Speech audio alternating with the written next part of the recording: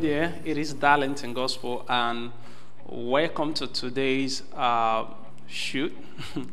Today we're beginning something really huge in our channel. You know, all this while we've been working on solidity-based uh, projects and so on. Uh, part of our vision is not just to be a blockchain network that just focus on the uh, barebone Ethereum EVM compatible chain, even though there's still a lot of areas to be conquered there. But what we're doing is trying to help people to embrace different uh, technology for building application on the blockchain. So we're not only transitioning people for EVM, but we also want to transition people for other viable blockchain network that we believe will be a suitable fit for you to know. And the first one we want to begin a series on is the Solana, you know, uh, ecosystem. So the Solana ecosystem is cool for building a decentralized application, fast, scalable, you know, way much better than the Ethereum. It's just that Ethereum is like the the barebone, but with layer twos with on Ethereum, it's you know it's also really great, really really great. You know, makes that whole bug with uh, Ethereum, you know, go away. So that is it. But in this particular uh, series, we'll be going through different. Um, let's say we'll go through the high level uh, aspect of you know Solana development. The Solana development is categorized into um, three, which we have high level, mid level, and the low level. So the high level is basically um, development with with um, Solana that has to do with you know building a JavaScript SDK, which is the TypeScript SDK. So you're basically going to be coding with TypeScript.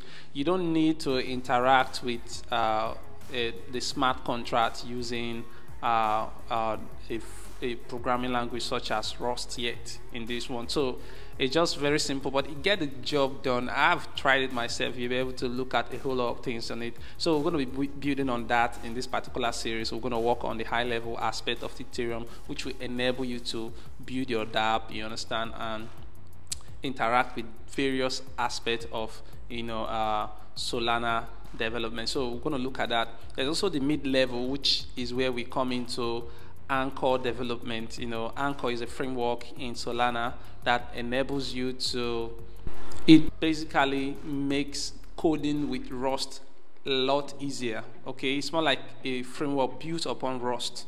So it's it removes the unnecessary thing that you need to repeat yourself so you don't get to repeat yourself so much with anchor and it makes development sim simpler you know cleaner and much more manageable okay?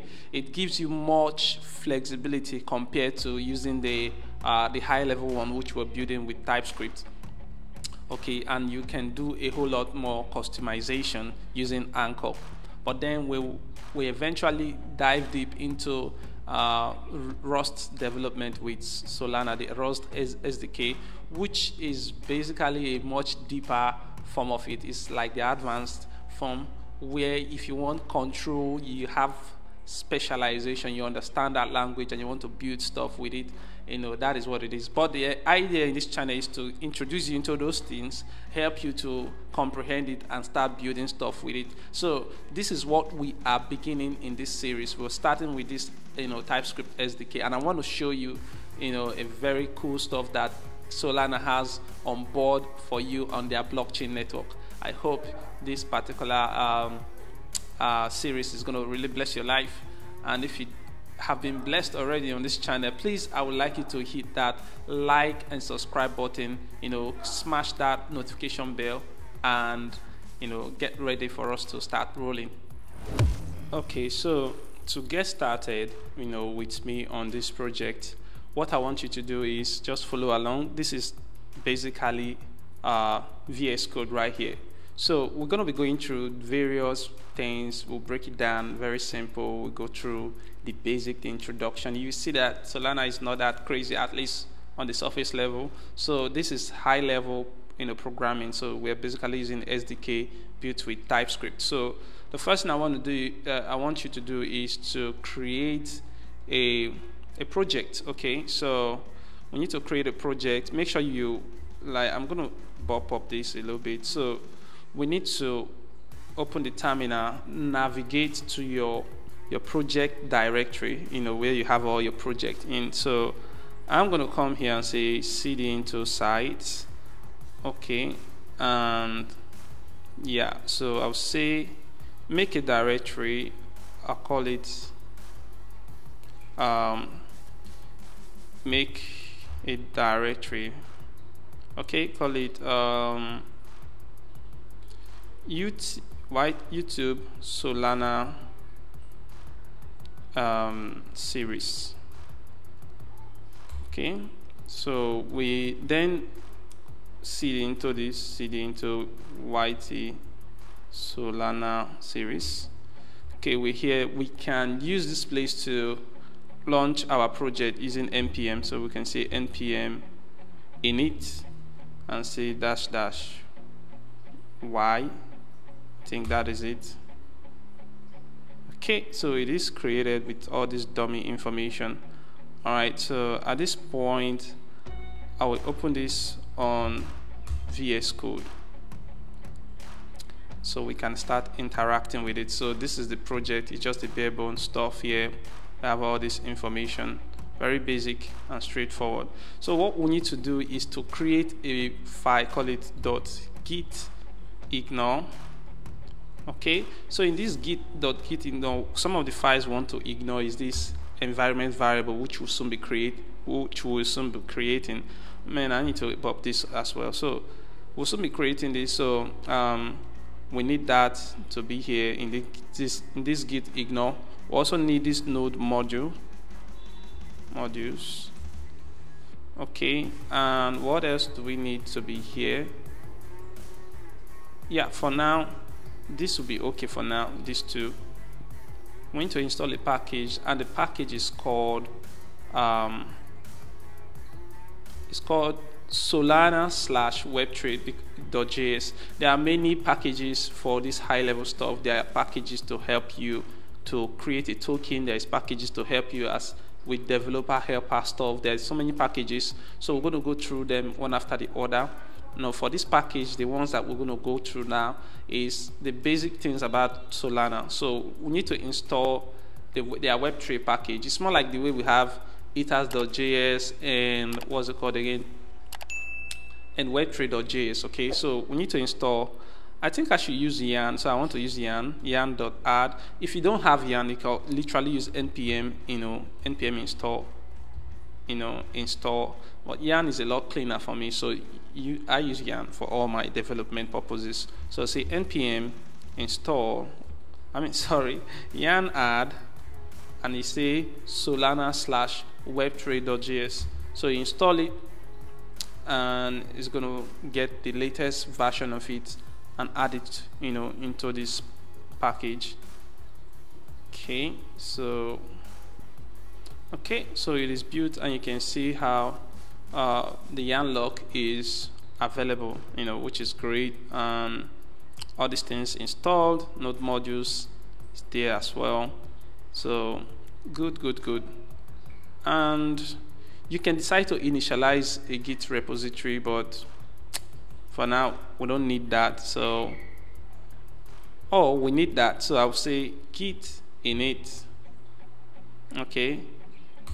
All right yep. So I will call this um, git add and git commit dash m um, yt solana series initials. Okay so there we have it. So we have all those things ready. So uh, let's get started. The first one to do let's create a project here at the root of this. Let's create a file. We'll call it let's call it 01 because there are a series of things that we want to build here. So we'll say 01 you know say keygen keygen dot ts we're doing all these things with TypeScript. Okay. To proceed with this uh, keygen, what I want you to do is we need to import that. I, the, this keygen actually comes from that TypeScript, that uh, Solana slash Web3 package. So we need to get this keygen is really important for you to generate your wallet address and your private key. So the pair, the public and the private uh, key is generated using this keygen. And it's very important that you should uh, generate it because you cannot interact with, you know, you can't basically interact with it, you know, do any transaction or do anything, develop anything on this chain without your private and public keys. So let's get that key pair. So we'll call this key pair, okay, or we can just call it my pair. No, key pair Okay, so this key pair is going to come with this key pair from Solana Web3. You can see that I'm importing it there. So this is where it is coming from. So call, there are many functions that you can see here. You can generate key pair from secret key. You can generate it from seed, uh, or you can just generate a fresh one, which is what I'm doing here. So we generate that, and it's going to create a new key pair for us. Now, when this is created, there's a place we need to store this. We need to be able to see this in action. So we can decide to do a console log. Okay, so on a log, um, say um, the public key. Okay, you can say this is the public key. And we can just decide that two ways you can do this. You can decide to to concatenate them or interpolate them, but I choose interpolation. So we can see this key pair right now that we now have this key pair right here that we just generated. You want to show the public key. What is the public key? So the public key is this, and you want to you want to convert it to to base five, six, you know, eight. So the reason why you need to convert it to base uh, 56 is basically for human readability, you understand, so that you can clearly see, okay, this is a string of Ethereum, uh, of Solana uh, stuff. So let's work together here. So let's get the private key as well. So we have the private key is what is called the secret key. Okay, so I want to say dot secret key.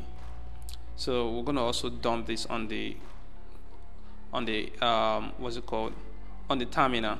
Now we need to run this but remember this is this is a TypeScript file. You can just do node you know exec whatever. Okay so that's why we need another package that is called esrun okay to execute this.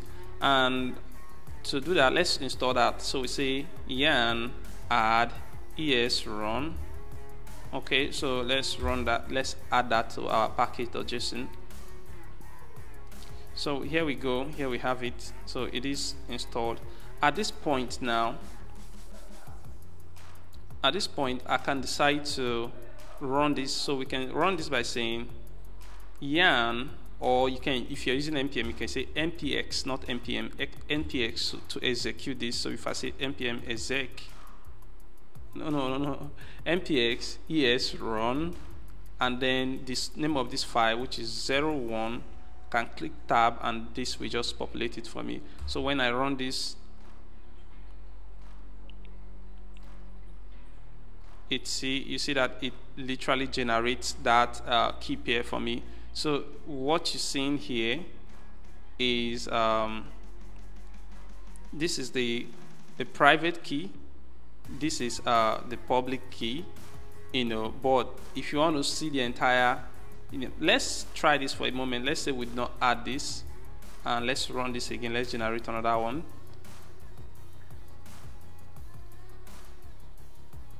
Okay, so there seems to be no much of a difference. We can still observe that this is just a clean format of that uh, of a Solana uh, wallet address, a public key, and this is its private key.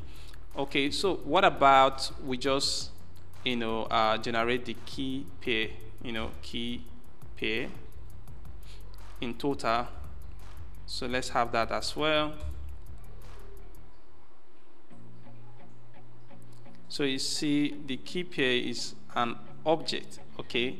So um, in subsequent part of this you know tutorial, I'm going to show you how you you get all these things together. But this key pair must be stored, you know, is an array. You can store this this uh, private key somewhere so that you can use it to to um, you can later use it to gener to regenerate you know because you can literally generate a key pair from the its secret key. So um, I'm gonna I'm gonna save this thing somewhere. Okay so to save it we need an environment variable. So we have this package called .env so I want to install that package called yarn.env okay yarn add.env so let's have those that installed as well.